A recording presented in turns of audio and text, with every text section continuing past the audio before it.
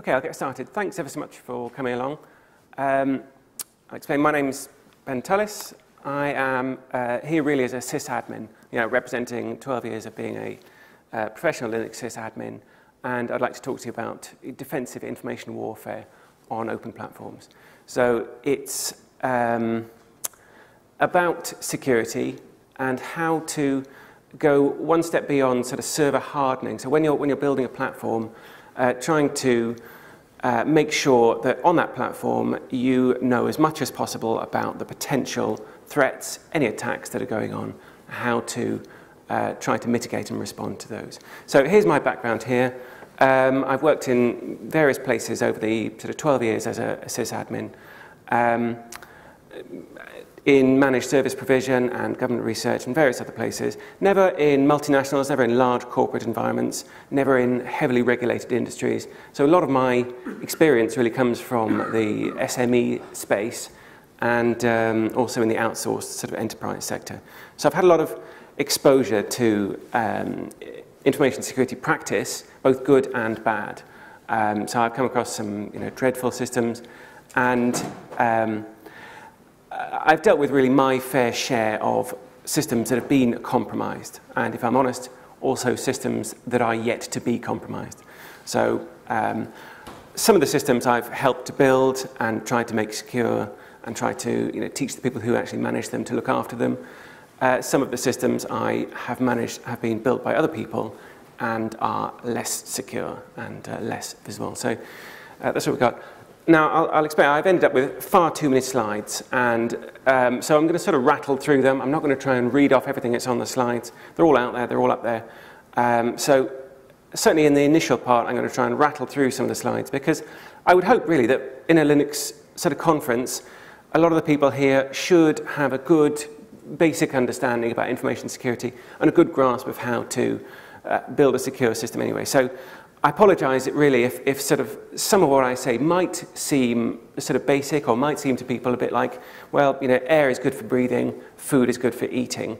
I, I don't really mean it to be that way. I, I want to come on to the tools and techniques which are uh, there for system administrators and any information architect to use to uh, develop more secure systems. Uh, so I'll rattle through certainly the initial part of the presentation uh, because I think the interesting parts are at the end, um, and uh, I'd like to get that far.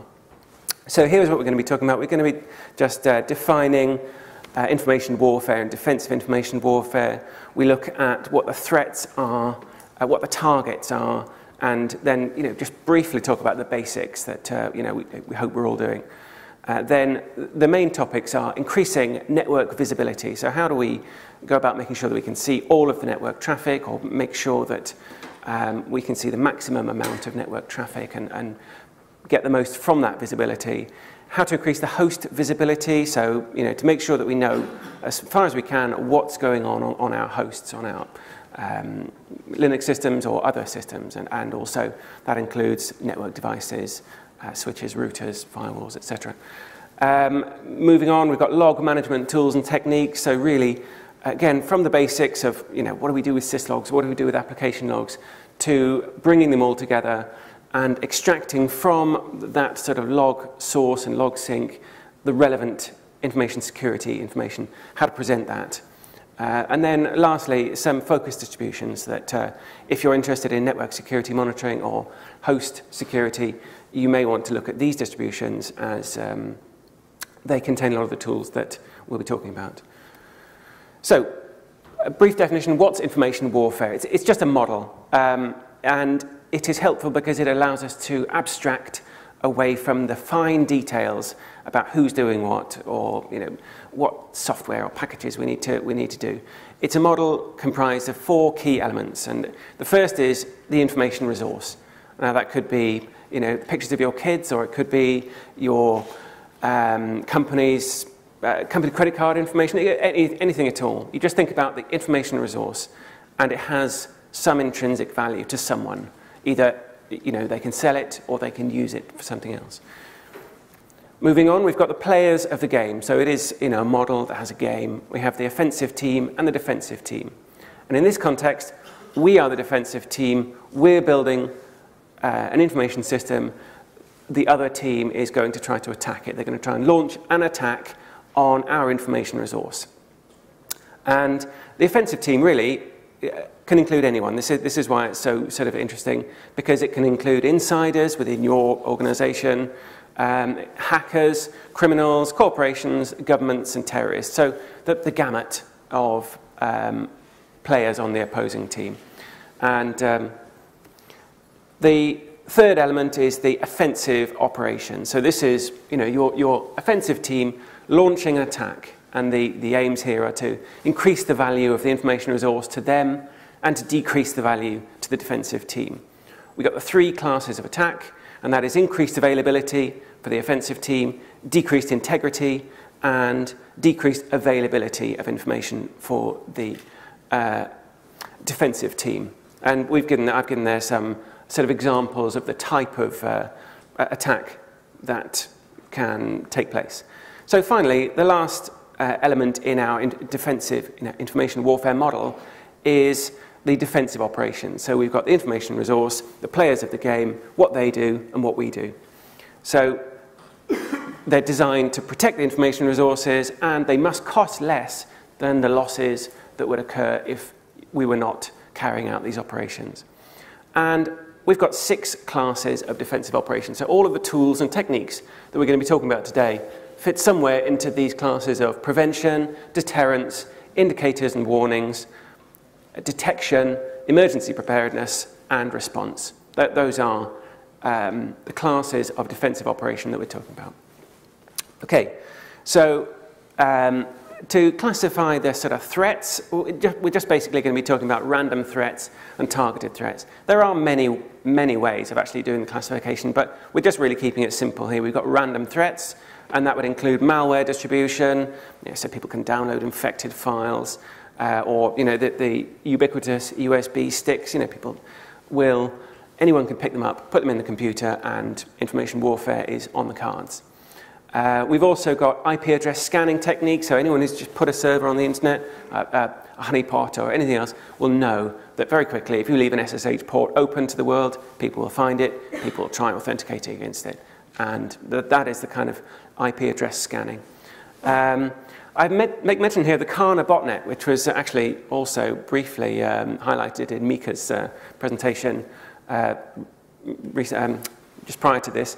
That is a very interesting um, topic there, and it's worth uh, a look at, really, because it was a, a botnet that was created with 420,000 hosts, created just using default passwords on hosts. Um, and it was, I think, 2012 it was created. Uh, most of the hosts were routers, but they were, you know, admin, admin, admin password, um, default uh, um, accounts on network hardware and, and, various other bits of hardware. And it was used to create one of the most detailed maps of the internet so far. So it was used in a non-nefarious um, uh, application, and in fact, the, the, botnet was deleted at the end of its useful life with a little note uh, saying what it was, how it was created, what it was used for, and how you might want to secure these kind of hosts in the in future. So that's a, an aside, really, but well worth reading up about. And some other random threats, uh, war driving and session hijacking. Um, you know, so anyone can be affected by these kind of targets.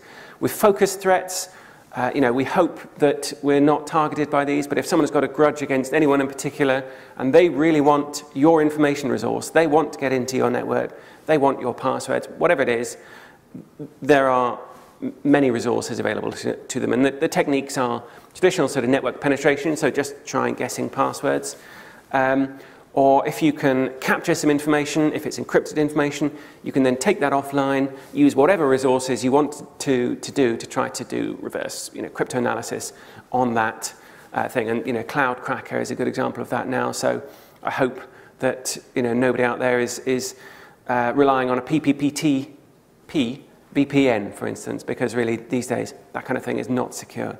Capture the traffic, upload it to Cloud Cracker, you know, pay a few dollars and it'll be cracked with cloud resources, um, various other things. We've got also known exploits, so you know vulnerabilities, uh, privilege escalation. If you've got a, a, trusted member of staff who has some access, um, can that member of staff elevate their privileges and gain access they shouldn't have? Social engineering, you know, can you just lend me your password? Oh, oh can I, you know, all of these kinds of things can be used to um, enable information warfare uh, in a, a, focused manner.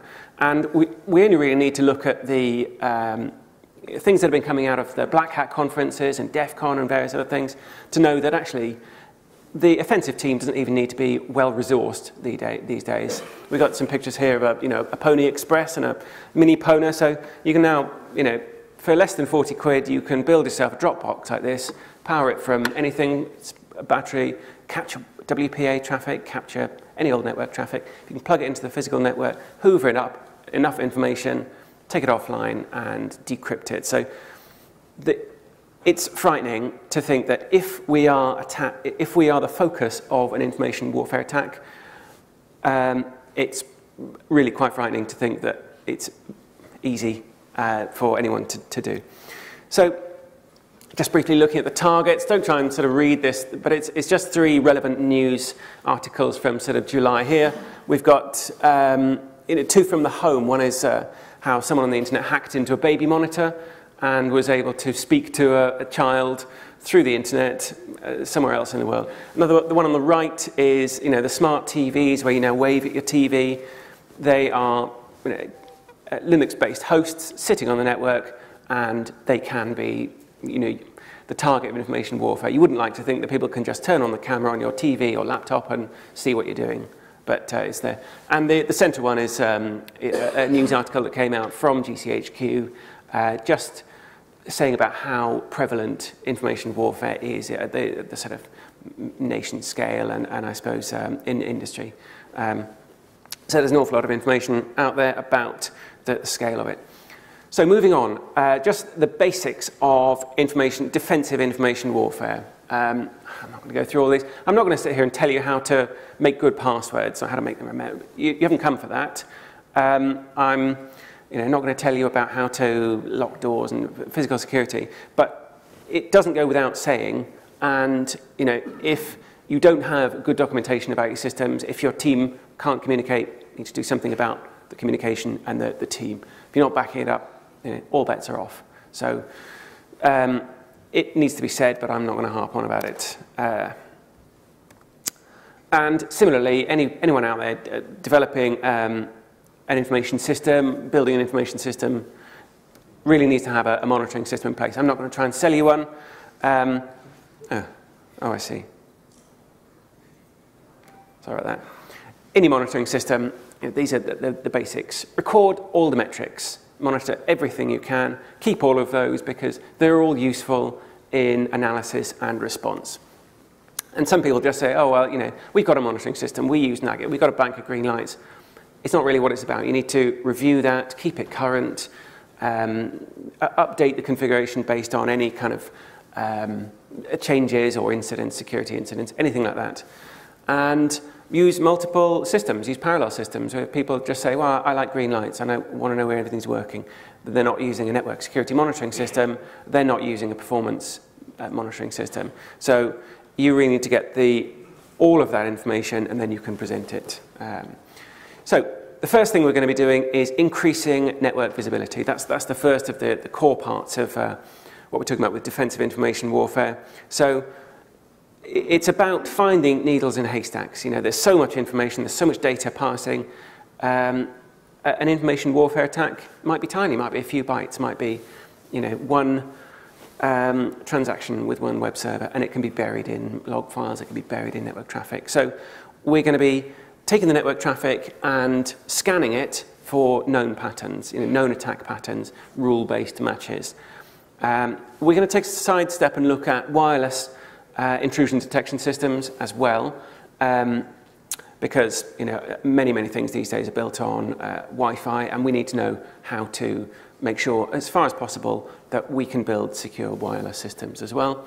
Um, we look at profiling the network traffic. So, yeah, we, we might know that you know, on this network segment, it's a storage network. So I'm only expecting to see iSCSI traffic on this network. That's great. If you only see iSCSI traffic on that network, things are good. If you see anything else on that network, that literally should be ringing alarm bells. So this is sort of how to go about from profiling network traffic, filtering out the legitimate traffic, and seeing what else is wrong, what, what, what is not there, and implementing anomaly detection. So uh, if you've got a, a, network you know, which is supposed to be fixed, uh, the number of hosts are not changing, the IP addresses are not changing. If IP addresses change, you need to know about it. So that's network anomaly detection. So again, this is kind of the, the basics. If we're capturing Ethernet traffic, one of the most core tools is using switch mirror ports also known as span ports, monitor ports, different hardware.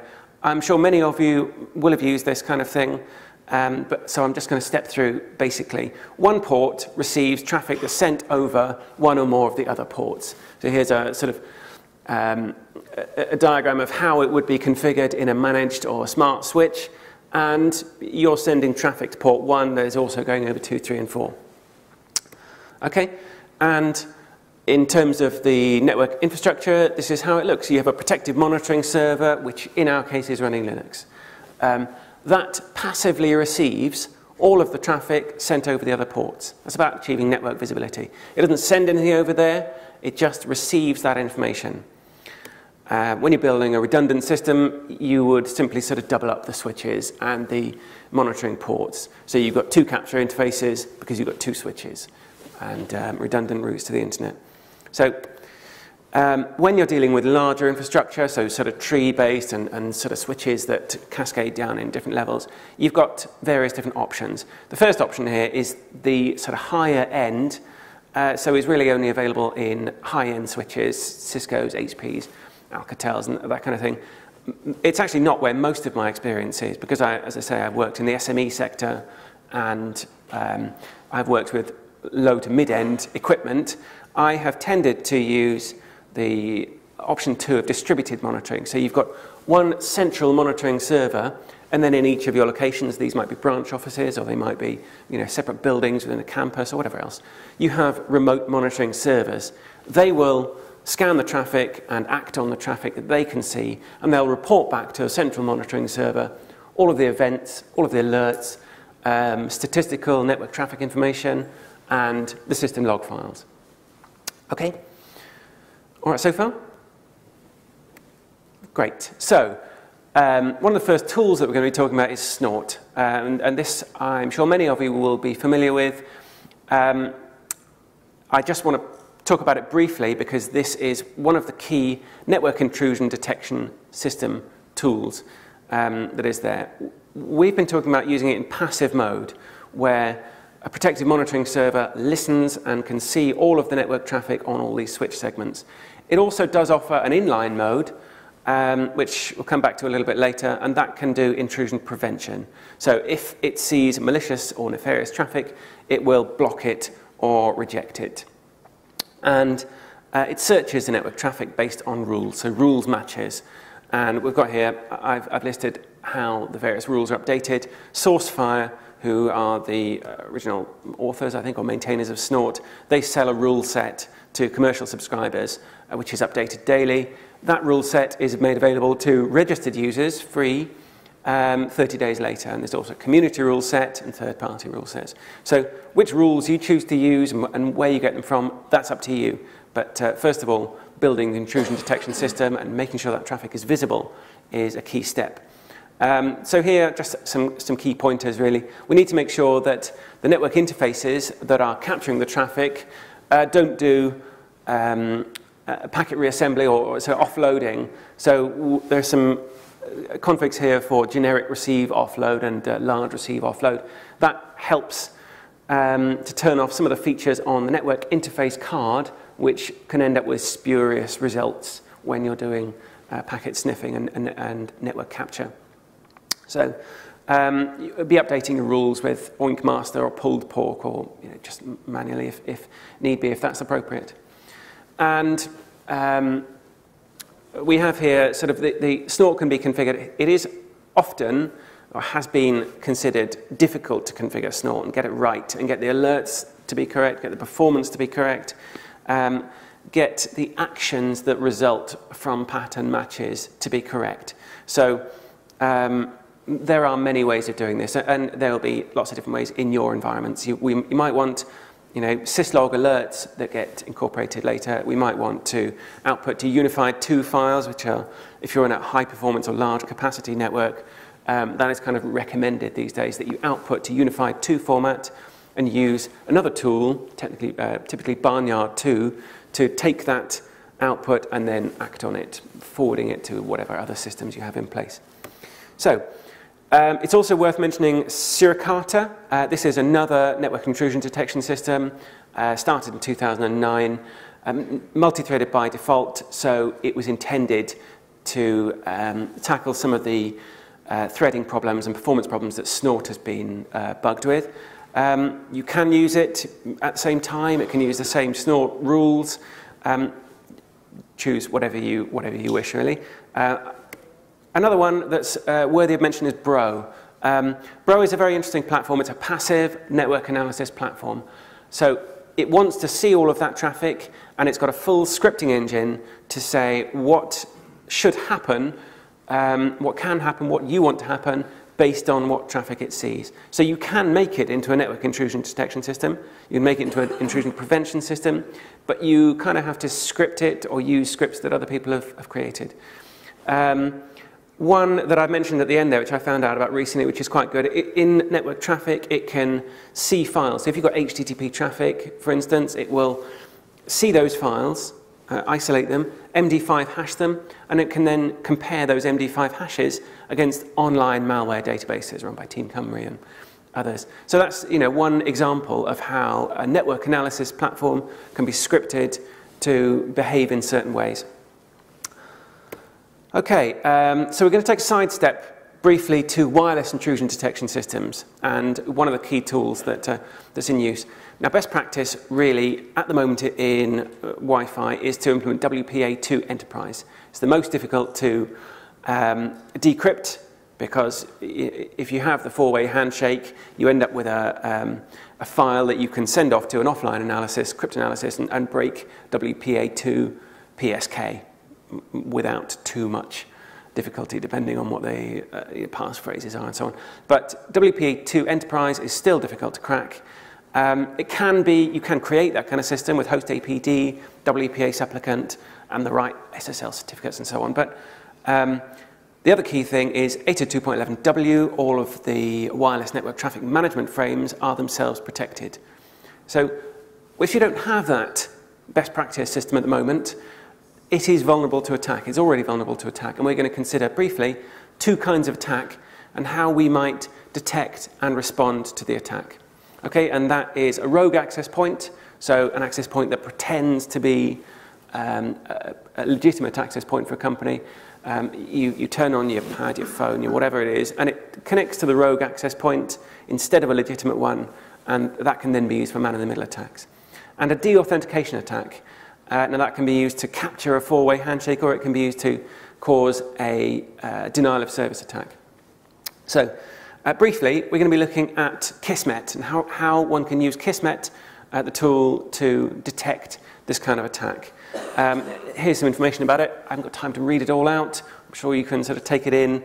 Um, some of you may have used Kismet before. It's also useful for wireless network reconnaissance and capture. Um, so here's a diagram of that, our first example, which is detecting a rogue access point. We've got legitimate wireless access clients. We've got a physical network with two legitimate access points and two Kismet drones. Uh, so these are capturing network traffic um, or sniffing for, for wireless network traffic, and we've got a rogue access point there. So in this case, um, Kismet server is connection to the Kismet drones and, and receives the information from Kismet drones. Here's the configuration element, which allows us to define the legitimate access points for our network. So here's the Kismet configuration file. The alert that we're interested in is the AP spoof, and it gives some information there on about the, the thresholds and the, the, the, time limits of sending these alerts. Um, there's our AP name, Tullix. And here is a list of two MAC addresses for the valid access points. If the Kismet drones see any other access point which is broadcasting that SSID, we know that we've got a rogue access point, generate an alert. Okay? Uh, the second type of wireless network attack uh, is a deauthentication attack here. So we've taken hypothetically some Wi-Fi cameras that are operating over WPA2 or something like that, but don't have the protected management frames. Um, an offensive player can cause a deauthentication attack. So they can continually send deauthentication packets, essentially knocking those cameras offline. Again, the same uh, network configuration there. The Kismet drones report back to the Kismet server. We are seeing a deauthentication flood or broadcast disconnection packet. If, if a disconnection packet is sent to a broadcast address, that'll technically take down all of the wireless um, access wireless clients for um, that access point. We need to know about it. So we can't, in this case, prevent the systems being taken down, but we can detect and respond to the alert. We generate an alert which goes into our security information and event management system. Come back to. So that's it. We've done a, a, brief overview on network intrusion detection systems and scanning network traffic. We've looked at wireless intrusion detection systems. Moving on to network traffic profiling. I'm just going to highlight a couple of tools. These are not the only tools. They may not be suitable for every environment, but NTOP and NTOP Next Generation NG. Um, these are very useful because they give you a rich graphical interface um, describing and allowing you to drill down into the type of network traffic that you can see, the volume of network traffic, um, who's talking to whom on the network. So you can see this information. And again, you got a technique there, PF ring, for um, increasing the number of threads and cores that can be used for this kind of capture and analysis.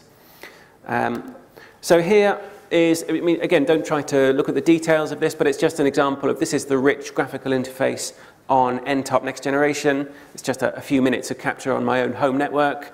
Um, and it shows you application protocols, who's talking to whom, top hosts, top application protocol, various other things. You can drill down into that. And if you've incorporated NetFlow information, you can see many sites and more sites than you can see um, from one host generally. Here's the older version, NTOP, uh, still a very useful interface and a great deal of information um, about all the hosts. You can, you can really, really drill down into um, what that is and keep that information persistently um, for whatever period you define. Okay, going to move on briefly to NetFlow. Um, it is um, very useful, but especially in the SME space and in, in um, smaller companies and, and, people without dedicated network resources, I've seldom seen it used or used um, effectively. So I just want to have a brief uh, overview. It itself is a network protocol and a, a, um, a, format for describing network traffic. So if you've got vast quantities of network traffic, unless you've got a data center um, that's intended for storing that traffic, all we really want to keep is the statistical information, or you know that, that's what we, we can keep. Um, so NetFlow in this case um, exports, emits UDP packets which describe the rest of the network traffic uh, from one or more exporters and they're sent to one or more NetFlow collectors and then they're stored for long-term analysis. Okay, so from the exporter side, so when we want to create NetFlow streams, it's already built into high-end routers. So there's a lot of Cisco houses out there. They already have um, NetFlow capable switches, which will just emit UDP packets describing the rest of the traffic. Juniper and various other switch manufacturers and, and uh, hardware manufacturers will support it in hardware.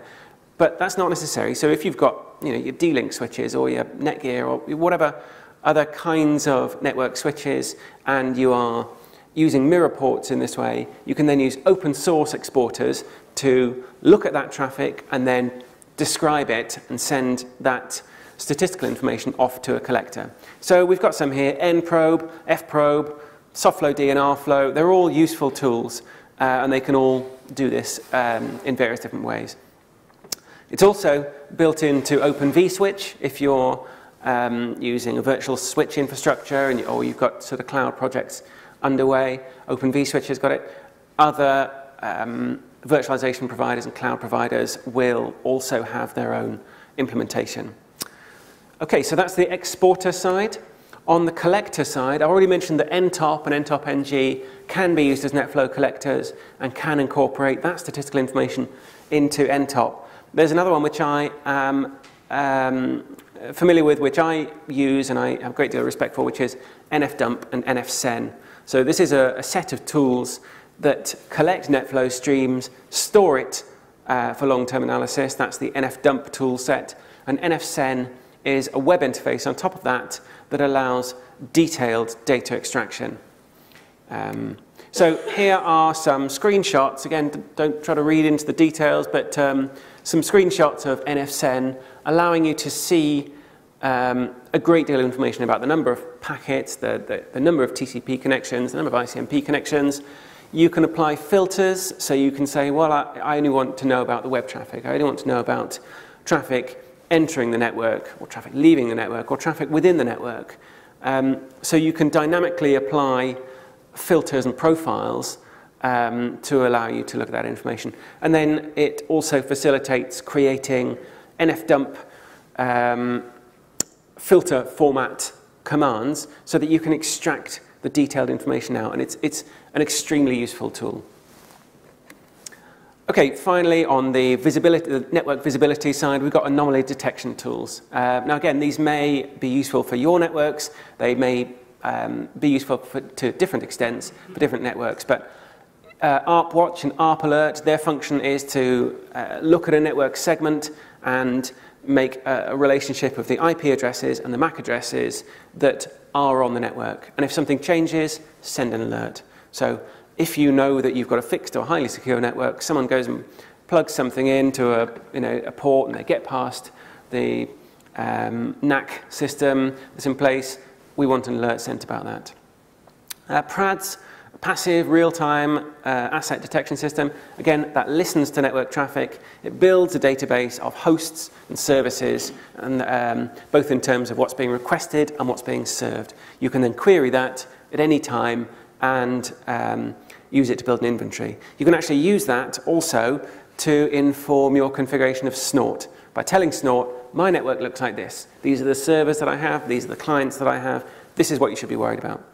And lastly, PBNJ. I think it might stand for peanut butter and jelly, I'm not sure.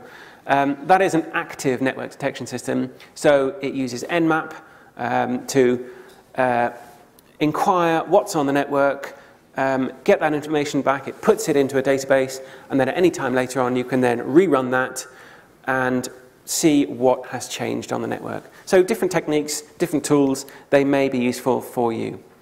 So uh, we're now going on to some host-based visibility tools. I'm running short on time, so I'm going to have to go through. Um, first of all, I'm just going to go through some useful tools. It might be useful to anyone running Linux systems. Then look at host-based intrusion detection systems. Sorry I'm having to go at this pace. I just tried to put too much stuff into it.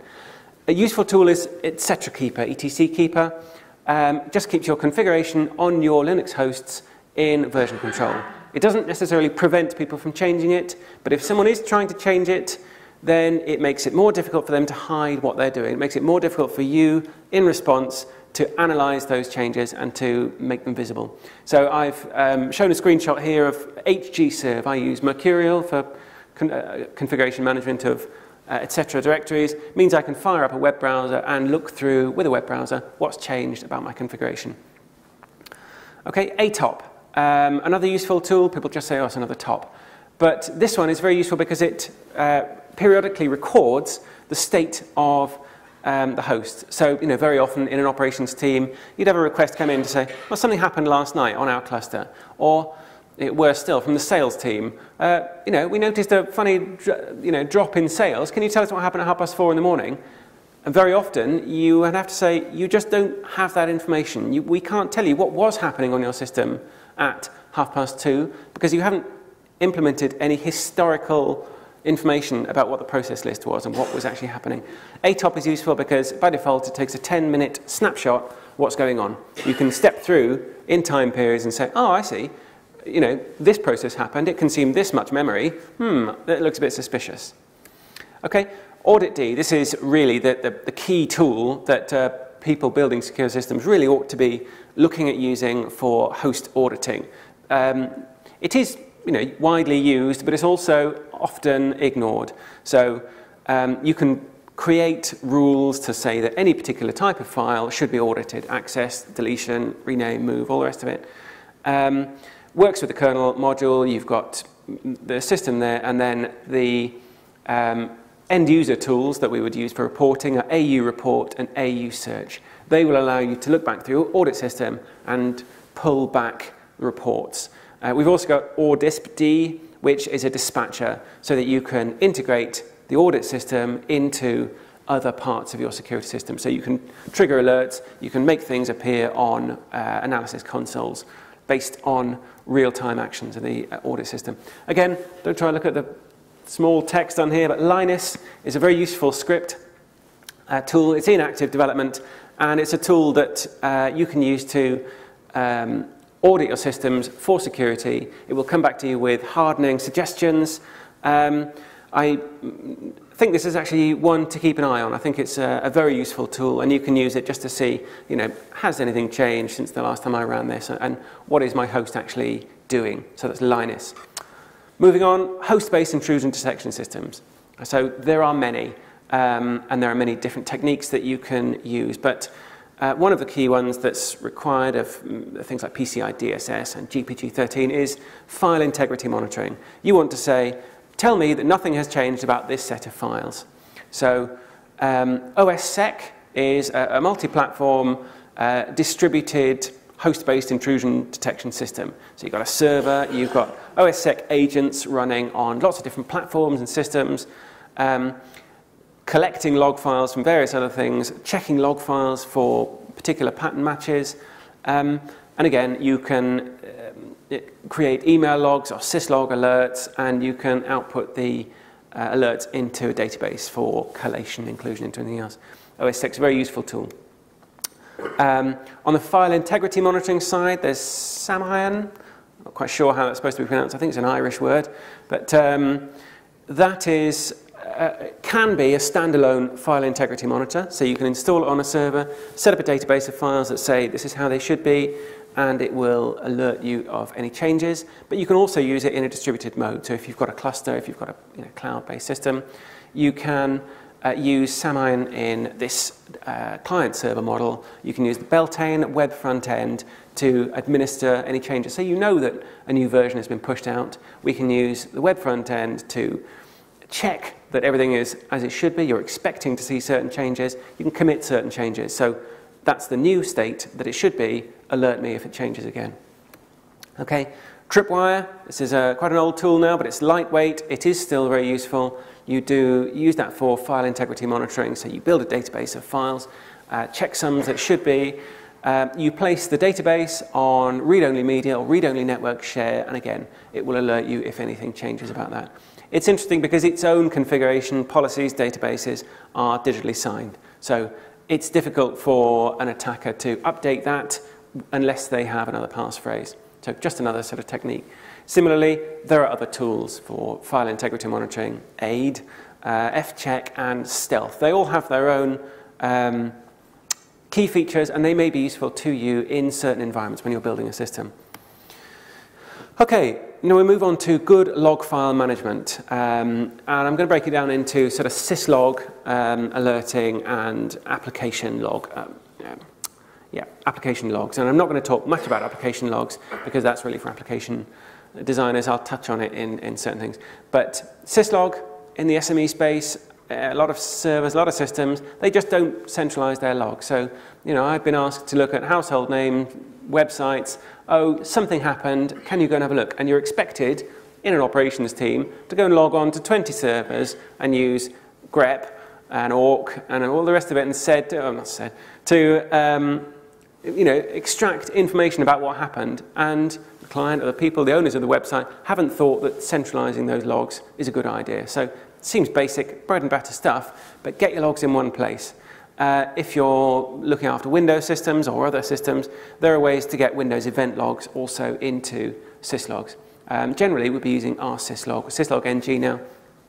And we can use TCP or RELP to make sure that those connections are secure and reliable. If you want to get a message through, RELP allows a, a back channel to say, you know, I'm sending you a message, I've sent it, I've received it, thanks, thanks very much. Or I didn't receive it, I send it back again. Um, also here, there's another technique that is quite new and is a requirement for GPG 13, that's the uh, GCHQ um, sort of good practice guide for protective monitoring systems, so a lot of public bodies having to adhere to this at the moment, uh, is cryptographic log signing. So if you get your logs in one place, you've got a, a, a proof of custody. You, you know that it was sent by this machine, you know that it was received by this machine, this machine signs it. So it creates a, a signed file. If someone comes in and tries to modify that log file, you can use the RSG util or whatever else to verify that you know, the log file has changed or the log file has not changed. So that is a feature of new rsyslog versions and is um, a useful tool and technique. Uh, so you've got all this syslog data in one place, just find some way of analyzing it, searching it. You know, there are free and open source tools to do this. One example is Adiscon Log Analyzer. So it's the company who does a lot of the rsyslog development. They've got a simple PHP-based web front end to syslog data. Um, and you can search it by host, by um, priority, by all sorts of fields. It just helps to um, you know, extract that information that you want. Loads of alternatives, and many of these systems, Elasticsearch, Graylog 2, um, ELSA is another one that's interesting, they may already be useful, uh, be used in your application uh, logging. A lot of people say, right, we put our application logs in here for analysis. Um, there's no reason why you can't put syslog data in there as well. Uh, so all sorts of tools. I'm not trying to get you to use one. Um, uh, on the application logging side, I will just make mention of one thing, which is that, uh, that a lot of clients, a lot of business owners think that because they've got Google Analytics running on their website, that's enough for them.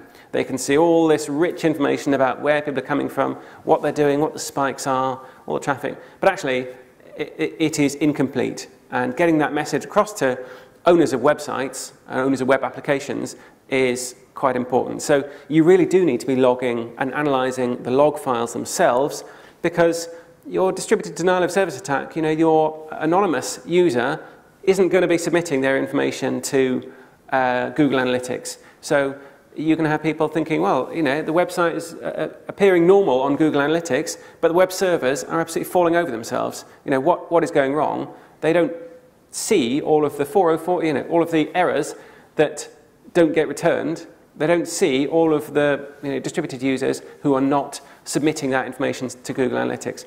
Um, one tool that can help is Piwik, a nice open source tool, and that has a log analytics mode. So you can feed in web server logs and you can get out the same kind of rich graphical information that Google Analytics gives you.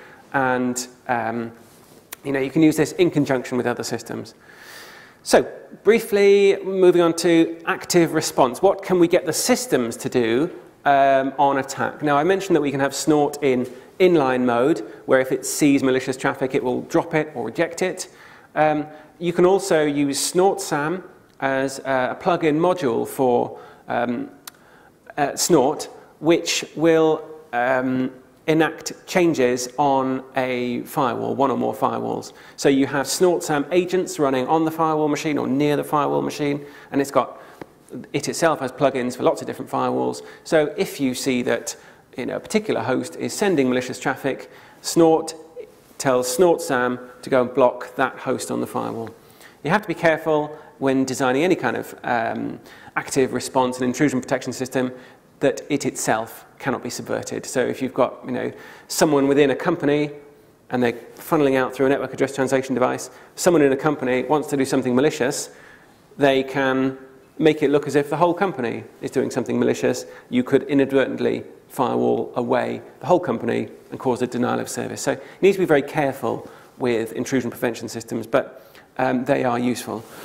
Secondly, on here, fail2ban. Another great tool, um, sometimes overlooked, you can get it to scan through log files, again, regular expression pattern matching. Uh, when it sees certain things such as authentication failures um, in log files, it will modify the, the firewall rules to block that. And if you've got repeat offenders, they keep coming back, you can get it to monitor its own log files. So if the same offender gets blocked three times in 24 hours, block them for a year. Um, Okay, so we've got all these log files in one, in one place. We've got uh, intrusion prevention systems. Another way of getting the security information out of the combined log files is using um, a tool called SAGAN, which uses like a snort-like pattern matching on log files, um, and then generating alerts and integrating with security information and event management systems. So here, I've just given an example which uh, will pick out from a log file the example of the wireless intrusion detection system that we saw earlier.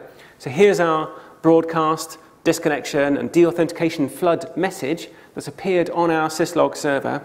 SAGAN uh, can find that from the log file and can then um, make an alert about this on an intrusion detection system um, response. And also it itself can work with SnortSAM to modify firewalls based on log file matches. So a very flexible tool, uh, open source, under active development.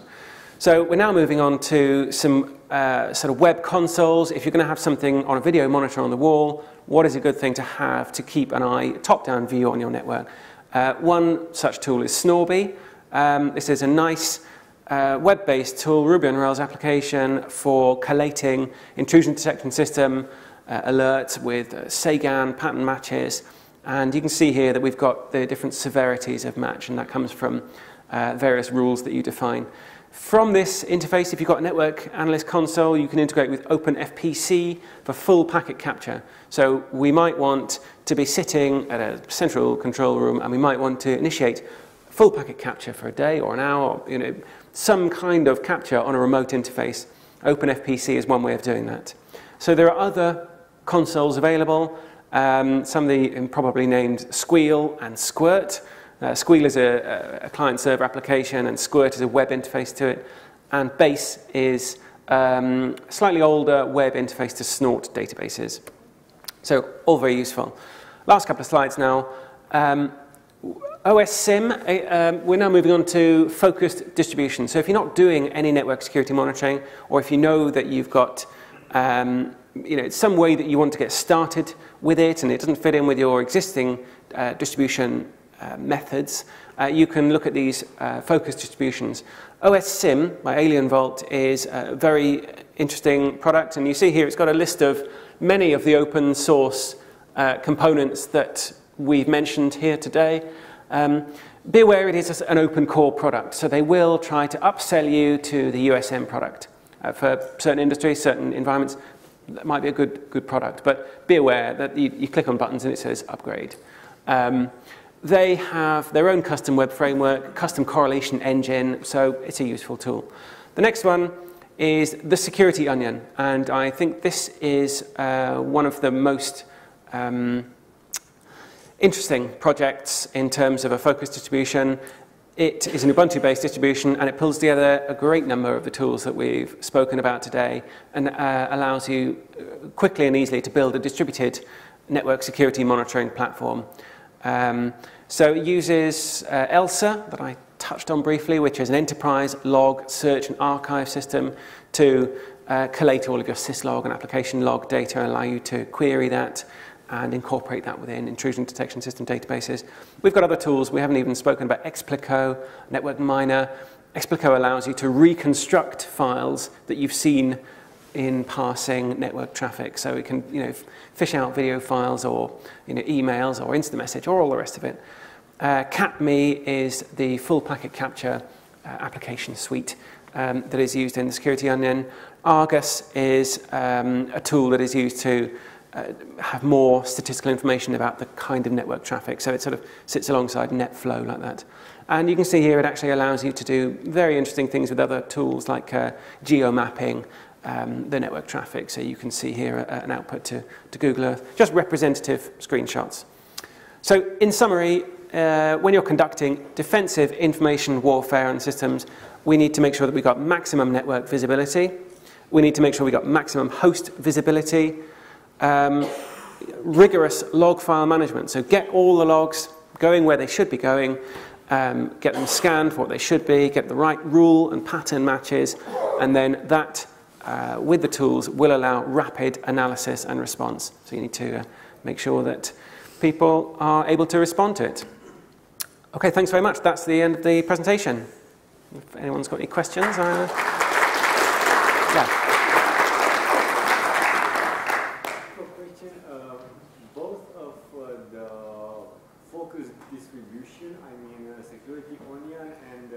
they, uh, they uh, both pack all the IDS. They uh, have suricata, they have uh, there. it seems a bit overkill. You should pick one or the other. which one would you, which, which one do you use? Do you mean which of the distributions would I choose, or which intrusion detection system? Uh, it really depends on the environment, uh, and I wouldn't necessarily uh, say that only one is right. Essentially, the suricata and snort are engines. The um, key thing that they're doing is pattern matches based on the rules. So the rule sets that you have, whether you have the VRT rules from SourceFire, whether you're a subscriber to that, whether you have the emerging threats uh, rule set, whether you create your own custom rules, those will be used by whatever intrusion detection system engine you've got. Or whether you have bro scripts to uh, pick out the relevant data from the traffic, uh, that is the, the key thing. Um, in terms of the engine, which engine I would use for a particular task, it would depend on the performance requirements um, and you know, how many sniffing interfaces we use um, and what we want to do with those alerts, whether we're doing a unified2 output, whether we're doing output to a, an SQL database. I, I don't know. Um, probably, you know, Suricata's native multi-threading would give it the edge over Snort in terms of um, uh, out-of-the-box performance because you wouldn't need to set up the PF ring um, side of thing. But you may already be setting up the PF ring side of thing for NTOP. Um, so you can choose what, uh, whatever you wish, really. Okay. Any other questions? Yes, sorry. Oh, I beg your pardon. There's, sorry, gentleman there. Sorry, I think it's Sareen, and that's next week. But um, the main question is the um, you had a bit earlier where you were uh, signing log messages. Oh yeah.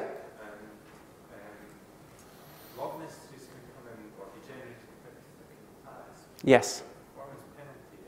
That's right. Generally, the, um, the technique when we're dealing with signing log messages is not to sign individual log messages because the signature will end up larger than the log message itself generally, and the performance overhead of signing that.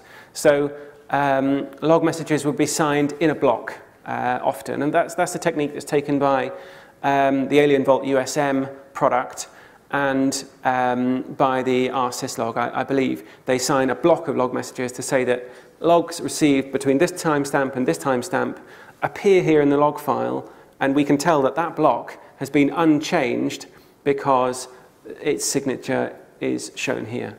So yes, there, there, that is certainly um, a, a, key part of the log signing requirement. And to be honest, it's, it, within the open source tools that I've come across, it's quite a new um, component. Certainly with the AlienVault USM, when they're dealing with the, the logger and the, the sort of enterprise side, um, they will talk about large scale SAN storage and high speed disk access for the logs because they're expecting vast numbers of logs. And in fact, you know, you, if you get your firewall rules, you can send every single permit and deny from your firewall rules um, on your switches and things. So you can generate terabytes of logs um, so yeah, that, that is um, something that you will need to assess in your environment.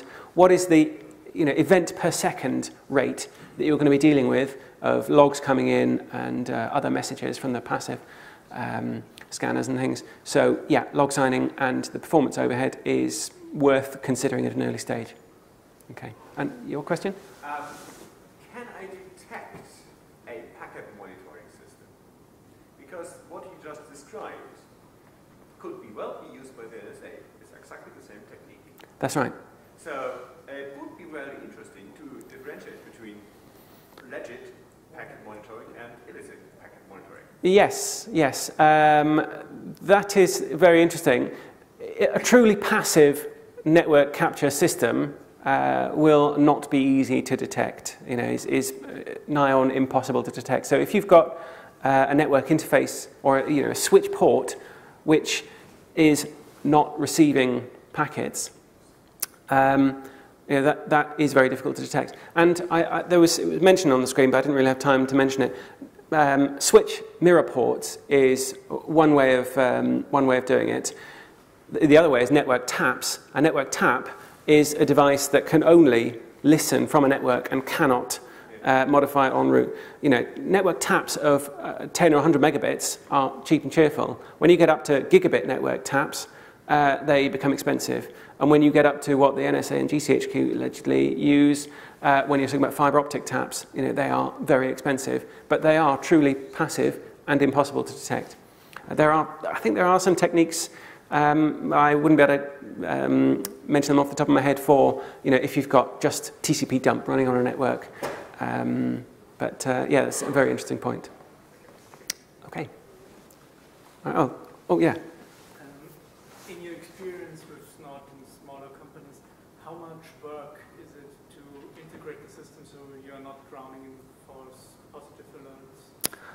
Um, I think the, the thing to get in, in terms of the, the smaller environment and, and that uh, requirement of keeping the workload down, uh, it's about responsibility and making sure that it is someone's continual task to be in charge of that network monitoring. So yes, when you first put it in place, there might be a high volume of alert and you will need to tweak which rules are applicable to your system. Um, it's not a vast amount of work because you just sort of look at the, you know, the requirement. if you're coming from a low level, um, you say, okay, well, that, that's fine, but I know I haven't got any Windows systems in this network segment, so I can take all of these out. I can take all of these rules out. Um, it's, it's just about having that ongoing responsibility to say it's someone's, because otherwise someone will be given the task of installing a network intrusion detection system and they'll be you know, fired the next week or they'll be moved on to something else. And because there's a, an overload of log messages and security monitoring stuff, it will never get done, it will never get looked at. It doesn't become a key part of that organization's information security infrastructure. So it, it will vary very much on the environment, whether it's, you know, it could be a corporate LAN or it could be a cloud-based um, you know, system or it could be a, you know, some co-located servers, depending on the nature of the environment and the services that it will provide, because it, you know, a server has to provide some services, they will be attacked in some way um, that, that load can be one person's or it can be shared with a department. Uh, as long as the responsibility is there of someone or some function within the organization, that's the important part. Okay. Oh yeah, finally, yeah. Just one point. It's actually very cheap and easy to tap optical. It's, it's really surprisingly cheap. Oh, is it? Okay. Yeah, it's simple and cheap. Okay, I stand corrected. Thanks very much. Thanks, everyone.